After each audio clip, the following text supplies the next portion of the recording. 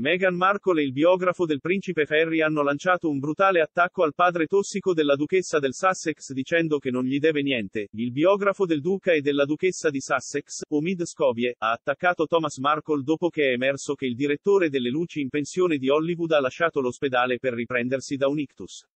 Il signor Scobie, coautore di Finding Freedom, ha affermato che Markle si era rivolto a sua figlia e non meritava la riconciliazione, in attesa di un post sul blog di Yahoo, ha dichiarato.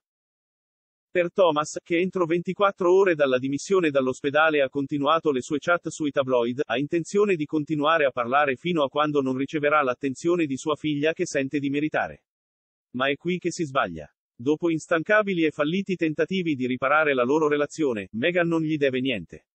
Viene tra le notizie che la duchessa di 40 anni aveva contattato suo padre per porre fine alla loro faida di 4 anni dopo che aveva subito un ictus. Meghan si è allontanata dall'ex direttore delle luci, che vive a Rosarito, in Messico. Da quando è stato sorpreso a mettere in scena le fotografie dei paparazzi prima del matrimonio di lei e di Harry nel 2018. Il signor Scobie ha descritto il momento devastante in cui Meghan ha saputo che era la fine della strada con suo padre e ha eretto un muro di silenzio alle comunicazioni con il signor Markle. Ha scritto, staccarsi da un genitore tossico è una delle decisioni più difficili che un bambino possa prendere, ma quando quel membro della famiglia ha una storia di creazione di stress, ansia e dolore attraverso comportamenti abusivi e tattiche manipolative.